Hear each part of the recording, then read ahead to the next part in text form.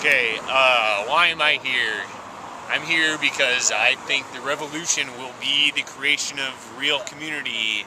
Um, putting your time, effort, energy, money into your local community, and uh, people are upset with centralized power, whether it's corporate America or governments, and the only way we're going to overcome that is by uh, creating communities where we provide for ourselves. We don't need them. We don't need the elite.